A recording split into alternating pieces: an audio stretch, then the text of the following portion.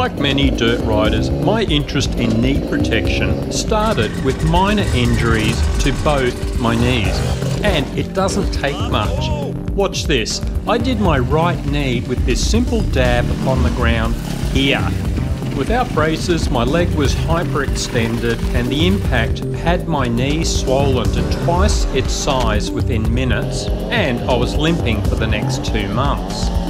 I did my left knee a year later when I flipped a bike and hyperextended the other leg when I jumped off the back. Again, a massive swelling, a few months of limping around, and both knees did not fully recover for about two years.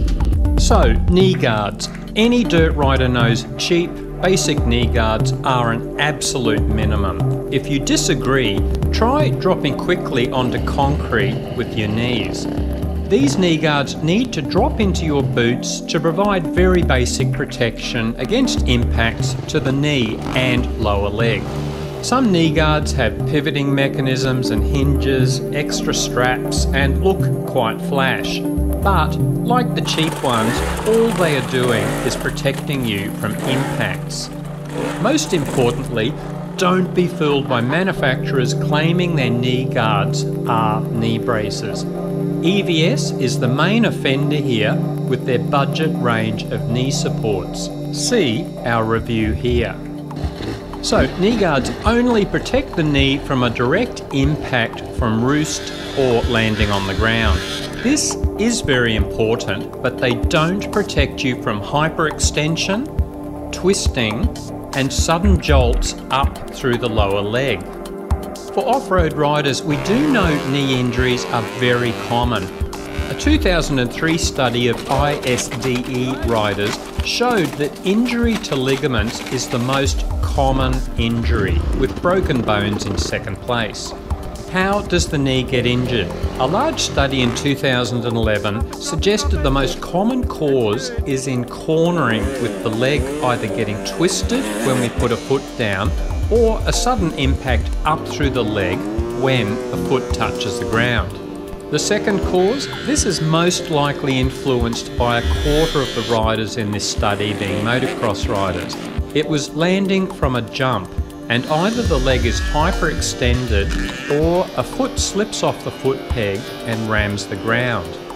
The third cause was just called technical errors. I figured this would include impact or twisting of the leg when you lose your balance, the foot being twisted around in a rut, and the million and one ways your dirt bike or the terrain will try to hurt you. This same study, with more than 2,000 dirt riders, found that 43% of knee injuries were the ACL, the ligament that joins your upper and lower leg bones.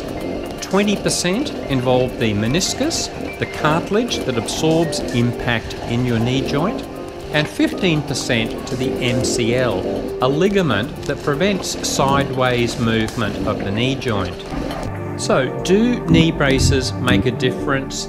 Yes. The same study found that knee braces at least halve knee injuries for dirt riders, and it suggested they have an even greater impact on the MCL, which is injured by twisting motions. The big question should you get knee braces or just knee guards? Only you can make that decision. Do you have a job where you can keep working if you are on crutches for a few months? And what sort of riding are you into? How often do you crash? How aggressively do you ride?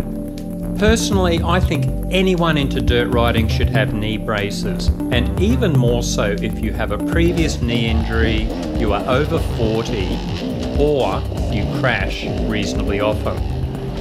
And if money is no problem, simply get the best braces, the CTI Customs, which are ultra comfortable and provide even more protection than your off the shelf knee braces. Finally, there's a lot you can do to reduce the risks of knee injury through your riding technique, bike mods, and exercise. We cover this in another vid, and it includes keeping fit, learning how to corner and jump properly, when to stand and sit on the bike, setting up your bike for your height and getting some decent foot pegs. Catch you later.